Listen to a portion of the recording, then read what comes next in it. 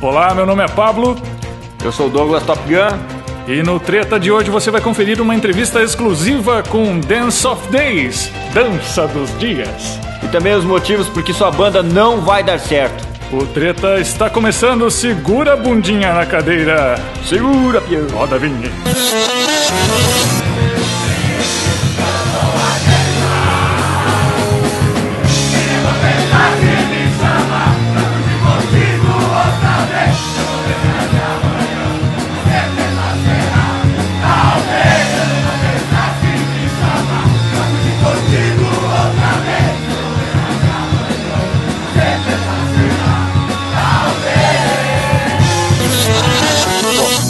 Vocês se mantêm ativos há quase duas décadas, né?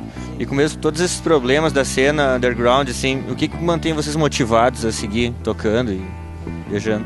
A gente, acima de tudo, é uma banda de amigo, né? A gente toca porque a gente gosta, a gente adora esse circuito, adora tocar. A gente cresceu ouvindo bandas, né? Bandas independentes e tal. Então, isso é o que é a nossa vida, né? Então é isso que motiva a gente. A gente gosta de, mesmo de estar assim. Como vocês enxergam a cena punk e hardcore no Brasil atual? Cara, é uma cena boa, uma cena bem diversa, né? Eu acho que estamos vivendo um bom momento, tem bandas muito boas tocando para tudo quanto é lado. A gente tem, que toca o Brasil inteiro, a gente sempre vê cenas muito boas. Aqui tem bandas muito boas, São Paulo, no Sul, no Nordeste. Então acho que é um bom momento. Né? Muita gente tem um tom saudosista. Ah, não sei, há 10 anos atrás era tão, tudo, tudo melhor, tão bom essas coisas e acaba reclamando muito do que está acontecendo agora. Eu acho que a gente tem que parar um pouco de reclamar e fazer de agora o melhor momento. A gente não tem que ficar vivendo do passado se a gente vive isso, sabe? A gente vive o atual e não é pra gente ficar só relembrando falando, ai, como era foda os shows de antigamente. Não, vamos continuar tentando é, fazer as coisas serem legais, né? E prestigiar o circuito, prestigiar as bandas novas, sabe? A gente toca no Rio Grande do Sul pelo menos uma vez por ano e sempre tem bandas muito boas, tanto em Porto Alegre quanto Santa Cruz, Santa Maria. Acabamos de tocar em Pelotas, foi super legal. E isso conta para os outros lugares também do país. Vocês sempre tiveram uma, uma visão, uma visão assim, pessoal e política né, nas letras, mas ainda assim teve gente que tem um pouco de preconceito com o início ali da. Como é que vocês veem essa parte daí? Cara, a gente com preconceito sempre vai ter. Sempre vai ter com tudo, né? Não só com a gente. A gente faz o nosso som para quem gosta de ouvir, mas acima de tudo a gente faz o som pra gente, assim, a gente faz o som que a gente gosta, né? Que a gente quer fazer. E ainda bem tem muita gente que gosta, né? A gente não pensa muito nas pessoas que não gostam, não, senão a gente nem sai de casa, né? Fala isso?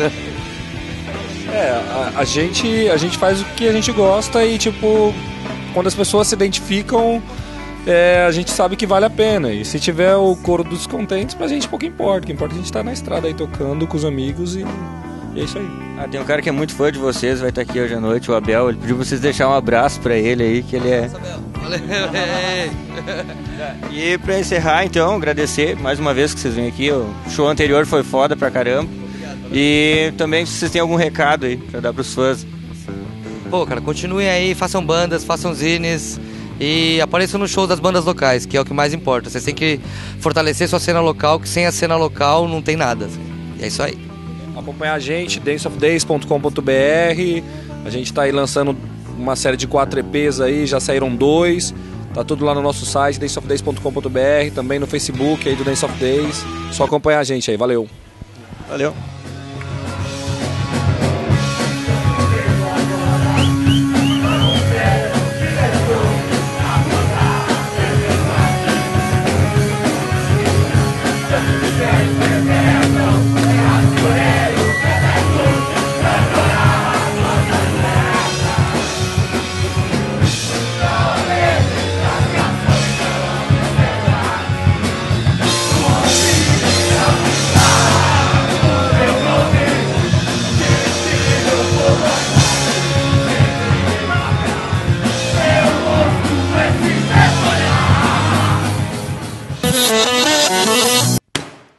Saiu, velho.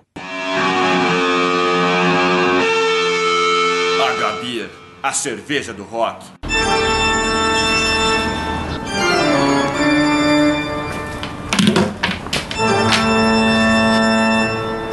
Histórias de instrumentos são sempre boas histórias.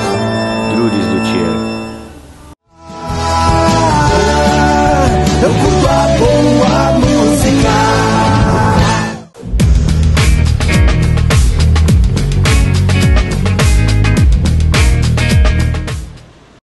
Sua banda não vai dar certo. Que o guitarrista usa uma Zoom 505. É isso aí, galera. Esse foi mais um Treta Rock Show. Não se esqueça, compartilhe esse vídeo, se inscreva no canal, dê um curtir aqui embaixo se você curtiu, se não curtiu, não curta, né? tudo bem.